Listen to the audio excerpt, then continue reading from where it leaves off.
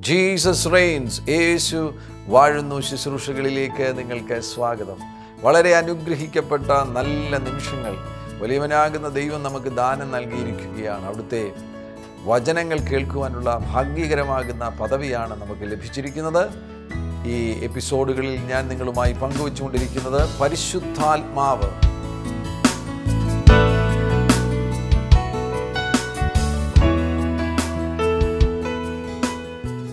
തൃത്വത്തിൽ മൂന്നാമനാകുന്ന പരിശുദ്ധാത്മാവിനെക്കുറിച്ചുള്ള ചിന്തകളാണ് കഴിഞ്ഞുപോയ എപ്പിസോഡുകളിൽ ഞാൻ നിങ്ങളുമായി പങ്കുവച്ചത്. പരിശുദ്ധാത്മാവ് അവിടുന്ന് വന്ന് നമ്മിൽ വസിക്കുവാൻ ആഗ്രഹിക്കുന്നു.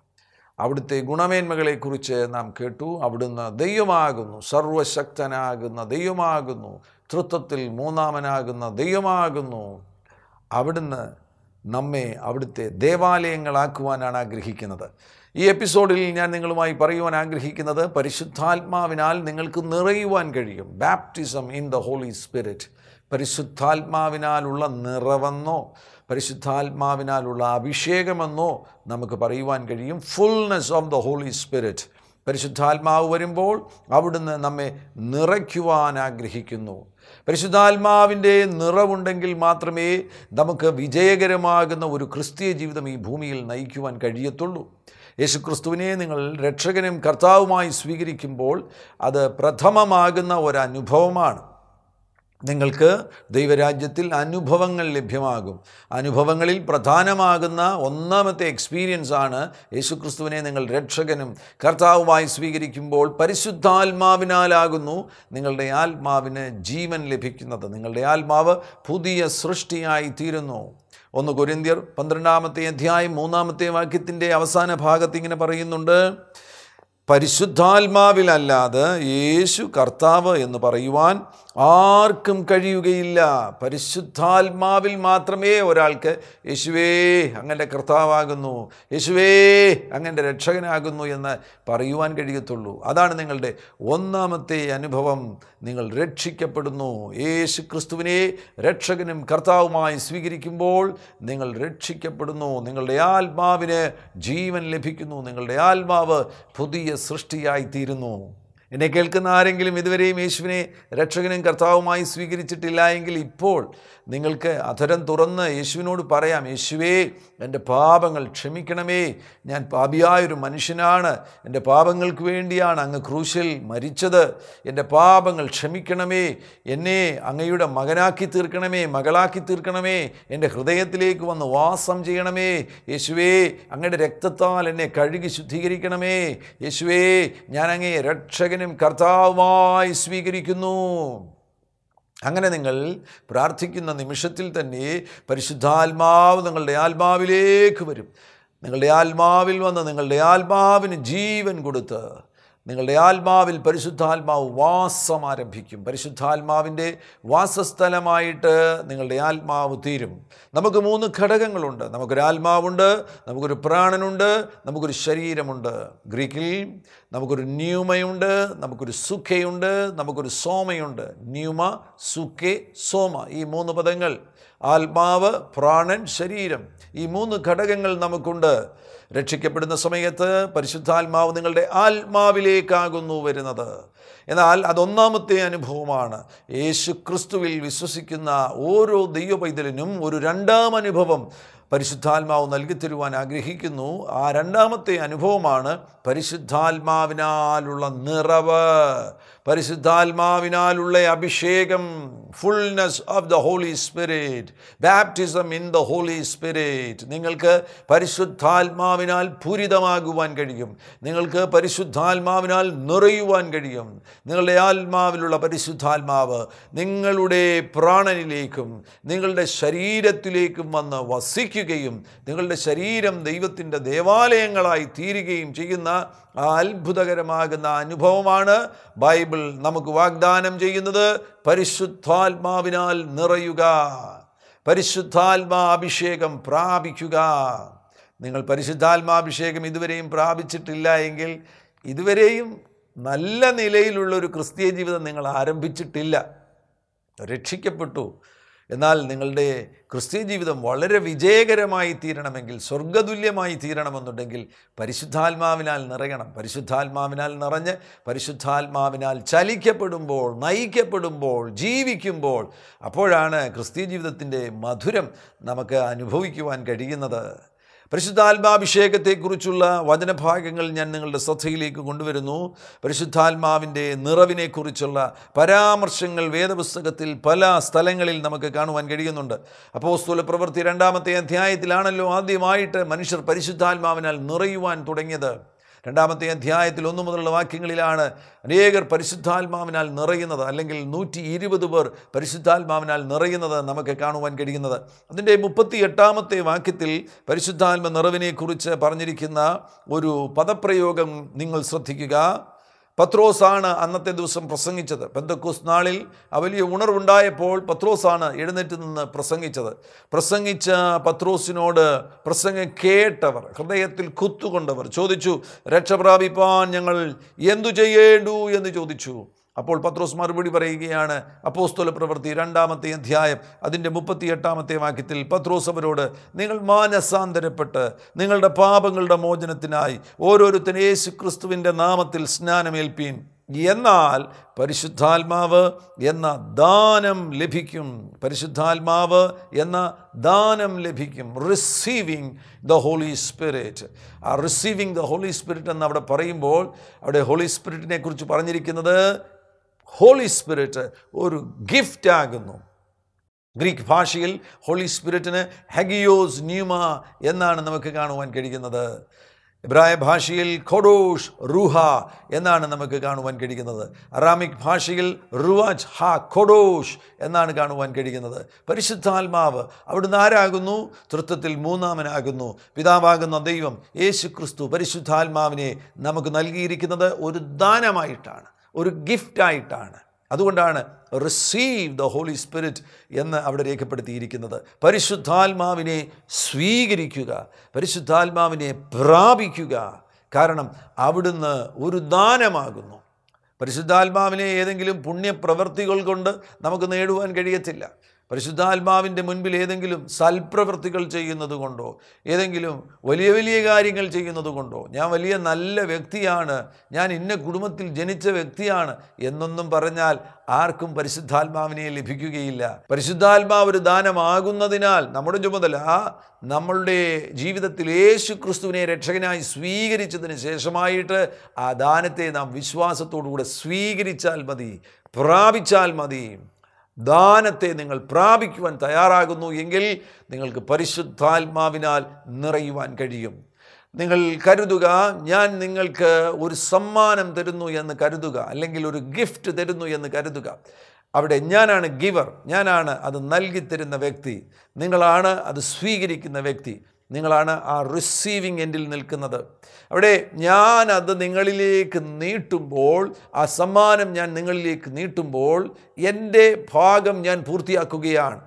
ഇനി ആരുടെ ഭാഗമാണ് പൂർത്തിയാകുവാനുള്ളത്? നിങ്ങളുടെ ഭാഗമാണ്. സ്വീകരിക്കേണ്ട വ്യക്തിയുടെ ഭാഗമാണ് പൂർത്തിയാകുവാനുള്ളത്. സ്വീകരിക്കേണ്ട വ്യക്തി കൈ നീട്ടി അത് സന്മനസ്സോടുകൂടെ നല്ല മനസ്സോടുകൂടെ വിശ്വാസത്തോടുകൂടെ സ്വീകരിക്കുമ്പോൾ ആ വ്യക്തിയുടേതായി തീരും ആ സമ്മാനം. അതിന് സമാനമാകുന്നു പരിശുദ്ധാത്മാവ് ഒരു ദാനമാകുന്നു അവിടുത്തെ ആ ദാനത്തെ ദൈവം നൽകിയ ആ ദാനത്തെ സ്വീകരിക്കുക എന്ന ചുമതലയാണ് ഇനി ബാക്കി കിടക്കുന്നത്. ദൈവം ആ ദാനം നൽകി തന്നു കഴിഞ്ഞിരിക്കുന്നു. രണ്ടായിരം വർഷങ്ങൾക്ക് മുന്നമേ ആ ദാനം ദൈവം നൽകി തന്നു കഴിഞ്ഞിരിക്കുകയാണ്.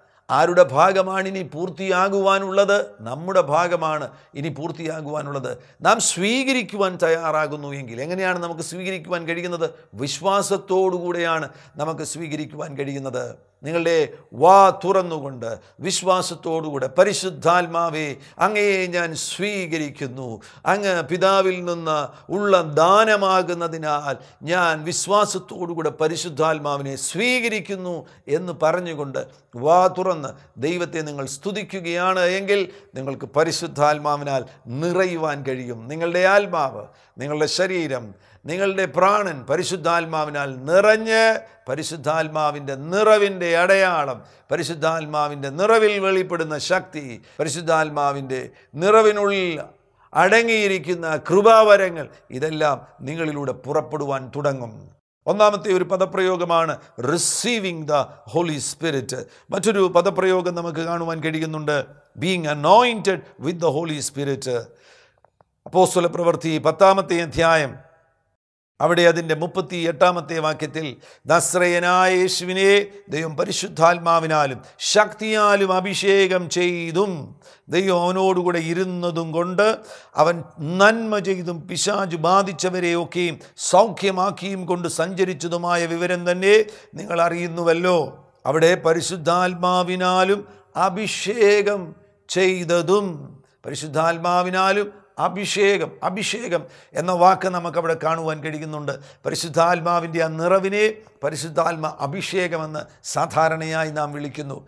അത് ഒരു പഴയ നിയമ പദപ്രയോഗമാണ്. പഴയ നിയമത്തിൽ അഭിഷേകം ചെയ്യുമായിരുന്നു. പുരോഹിതന്മാരെ അഭിഷേകം ചെയ്യുമായിരുന്നു. അഭിഷേക തൈലമുണ്ടായിരുന്നു അഭിഷേക തൈലം അവരുടെ തലമേൽ ഒഴിച്ച് പുരോഹിതന്മാരെ അഭിഷേകം ചെയ്യുമായിരുന്നു.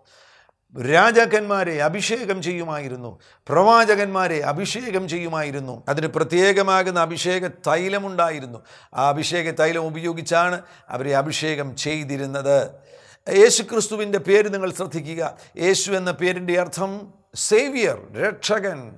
യോഷ്വ യോഷ്വ എന്ന ആ എബ്രായ പേരിന്റെ അർത്ഥം രക്ഷകൻ. യേശു രക്ഷകനാകുന്നു. എന്നാൽ ക്രിസ്തു എന്ന പേര് ശ്രദ്ധിക്കുക. Christ the anointed one Messiah മഷിഹ the anointed one അഭിഷക്തൻ.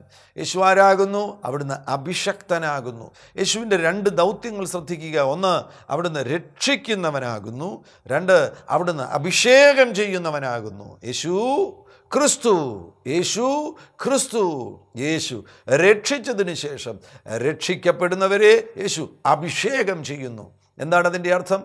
യേശു ഒരു വ്യക്തിയെ രക്ഷിച്ചതിന് ശേഷം യേശു ആ വ്യക്തിയെ ആരുടെ കയ്യിൽ ഏൽപ്പിക്കുന്നു? ആരുടെ പക്കൽ ഏൽപ്പിക്കുന്നു? പരിശുദ്ധാത്മാവിന്റെ പക്കൽ ഏൽപ്പിക്കുന്നു. പരിശുദ്ധാത്മാവിൽ ആ വ്യക്തിയെ നിത്യതയ്ക്ക് വേണ്ടി ഒരുക്കുന്ന കർത്താവാകുന്ന യേശു ക്രിസ്തു അവിടുന്ന് അഭിഷക്തനാകുന്നതിനാൽ അവിടുന്ന് നമ്മെ അഭിഷേകം ചെയ്യുവാൻ ആഗ്രഹിക്കുന്നു. പുതിയ നിയമത്തിലും നമുക്ക് അഭിഷേകമുണ്ട്. പഴയ നിയമത്തിൽ എണ്ണ കൊണ്ടായിരുന്നു അഭിഷേകം ചെയ്തിരുന്നത്. എന്നാൽ പുതിയ നിയമത്തിൽ നമുക്ക് ലഭിക്കുവാൻ പോകുന്ന അഭിഷേകം പരിശുദ്ധാത്മാവിനാലുള്ള അഭിഷേകമാണ്. ഇതുവരെയും നിങ്ങൾ പ്രാപിച്ചിട്ടില്ല എങ്കിൽ നിങ്ങൾ കൊതിക്കണം. ഇപ്പോൾ കൊതിക്കണം. നിങ്ങളെ പരിശുദ്ധാത്മാവ് നിറയ്ക്കുവാൻ വിശ്വസ്തനാണ് അഭിഷേകം ചെയ്യുവാൻ വിശ്വസ്തനാണ്. നിങ്ങളിത് കേട്ടുകൊണ്ടിരിക്കുമ്പോൾ തന്നെ നിങ്ങൾ പരിശുദ്ധാത്മാവിനാൽ നിറയും. പരിശുദ്ധാത്മാവിന്റെ ശക്തി നിങ്ങളുടെ മേൽ വരും ഉറപ്പായിട്ടും.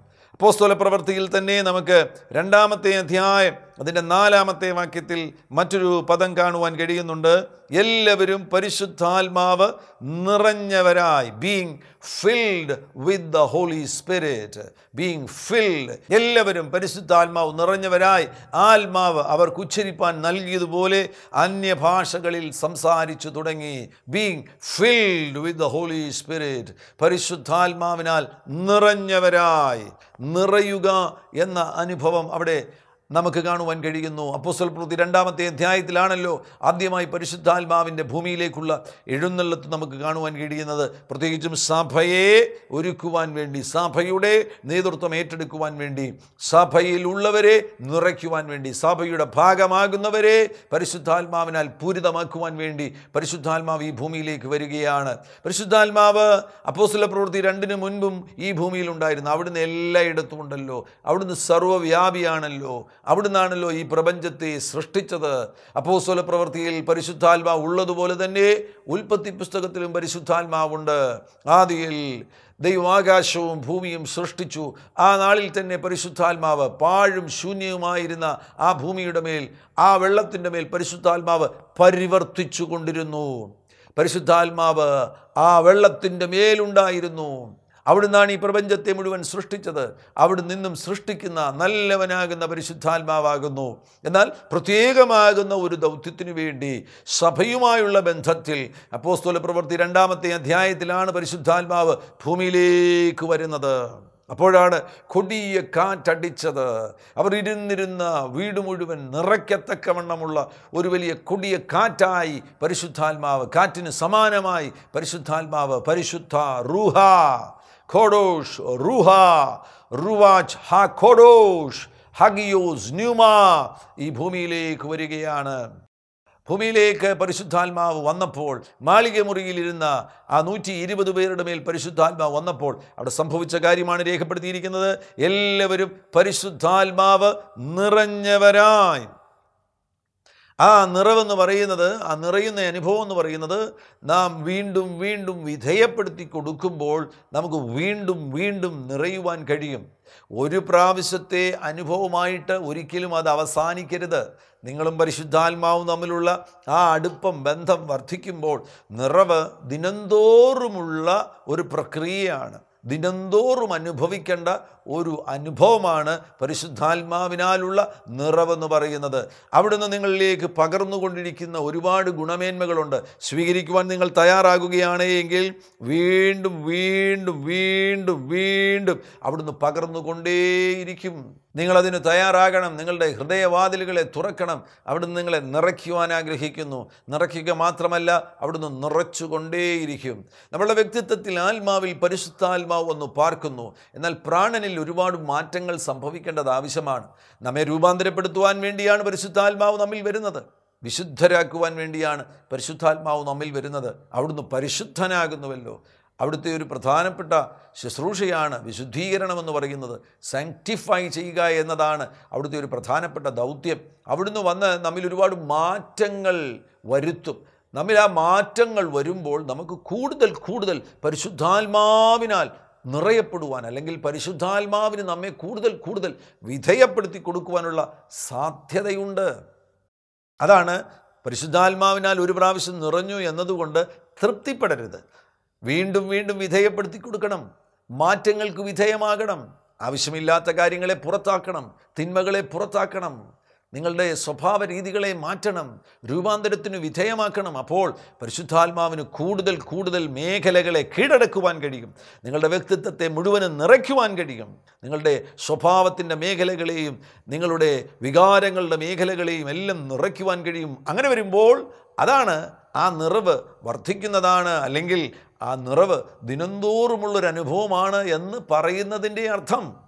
ഒരിക്കൽ നിറഞ്ഞു എന്ന് പറഞ്ഞുകൊണ്ട് പിന്നീട് ഒരിക്കലും പരിശുദ്ധാത്മാവുമായിട്ടുള്ള ആഴമേറിയ ഒരു ബന്ധത്തിന് വിധേയപ്പെടുത്താതെ സാധാരണ നിലയിൽ ജീവിക്കുന്നവരുണ്ട്. പണ്ടെങ്കോ പറഞ്ഞ ഒന്നോ രണ്ടോ അന്യഭാഷകൾ വീണ്ടും ആവർത്തിച്ച് ആവർത്തിച്ച് പറഞ്ഞതിന് ശേഷം ഞായറാഴ്ച എപ്പോഴെങ്കിലും രണ്ട് മിനിറ്റ് കൈയടിച്ച് ഒന്ന് ആത്മാവിലാകുന്നത് പോലെ കാണിച്ചതിന് ശേഷം ആത്മാവില്ലാതെ ജീവിക്കുന്നവർ പരിശുദ്ധാത്മാവില്ലാതെ ജീവിക്കുന്നവർ അങ്ങനെയുള്ള അപകടകരമാകുന്ന അവസ്ഥകളിൽ ഒരിക്കലും തുടരരുതേ. പരിശുദ്ധാത്മാവുമായുള്ള ജീവിതം എന്ന് പറയുന്നത് ദിനം തോറും നിമിഷം തോറും ഓരോ നിമിഷവും അവിടുത്തെ സാന്നിധ്യം അനുഭവിച്ചുകൊണ്ട് യേശുവിന്റെ ആ അനുഗ്രഹങ്ങൾ സ്വീകരിക്കുന്നതോടൊപ്പം തന്നെ പരിശുദ്ധാത്മാവിന്റെ ആ വലിയ സാന്നിധ്യം അനുഭവിച്ചുകൊണ്ട് പരിശുദ്ധാത്മാവുമായി ഒരുമിച്ച് യാത്ര ചെയ്യുന്ന മനോഹരമാകുന്നൊരനുഭവമാണ് പരിശുദ്ധാത്മ നിറവെന്ന് പറയുന്നത്. അത് ഒരു ദിവസത്തെ അനുഭവമാക്കി ചുരുക്കിക്കളയരുത് അത് മരണപര്യന്തമുള്ള ദിനംതോറുമുള്ള ഒരനുഭവമാണ് being filled with the Holy Spirit Ephesians ലേഖനം അഞ്ചാം അധ്യായം പതിനെട്ടാമത്തെ വാക്യത്തിൽ പൗലോസ് പറയുന്നത് വീഞ്ഞു കുടിച്ച് മത്തരാകരുത്. അതിനാൽ ദുർനടപ്പുണ്ടാകുമല്ലോ. ആത്മാവ് നിറഞ്ഞവരായി. ആത്മാവ് നിറഞ്ഞവരായി. ആത്മാവിനാൽ നിറയുമ്പോൾ എന്താ പിന്നെ സംഭവിക്കുന്നത്?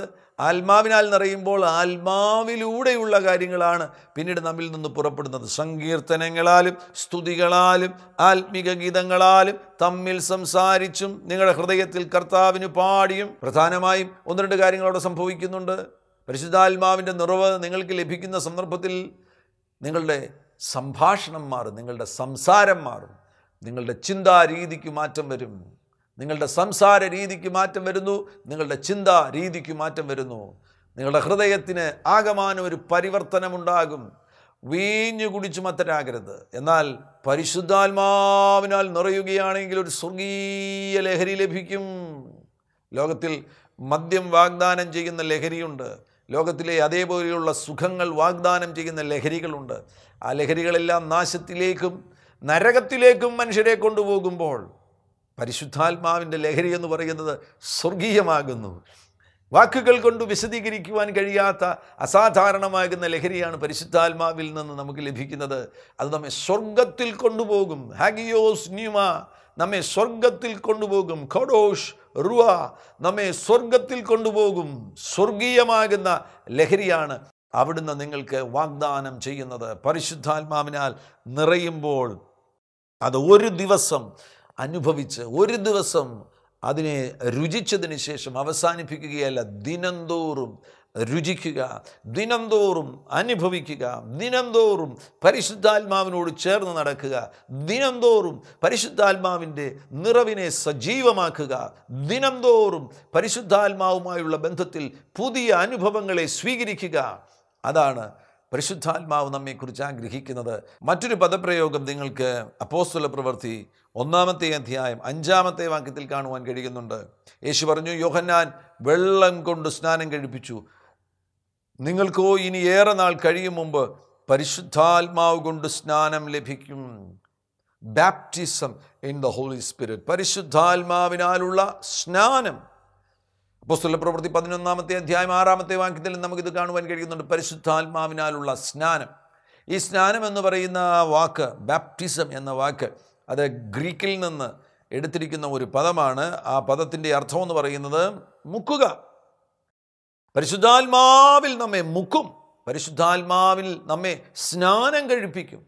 പരിശുദ്ധാത്മാവിന്റെ വെള്ളത്തിലേക്ക് ആ ജലധാരയിലേക്ക് ആ നദിയിലേക്ക് നമ്മെ ഇറക്കിക്കൊണ്ടുപോകുന്ന baptism in the Holy Spirit വളരെ നാളുകൾക്ക് മുന്നമേ ഇത് വസ്ത്രങ്ങളുടെ നിറം മാറ്റുന്ന വ്യവസായത്തിൽ ഉപയോഗിച്ചിരുന്ന ഒരു പദമാണ്. അവർക്ക് വെള്ള വസ്ത്രത്തിന്റെ നിറം നീലയാക്കണമെന്നുണ്ടെങ്കിൽ ആ വെള്ള വസ്ത്രം നീല നിറമുള്ള ആ കളറിനകത്തേക്ക് മുക്കും.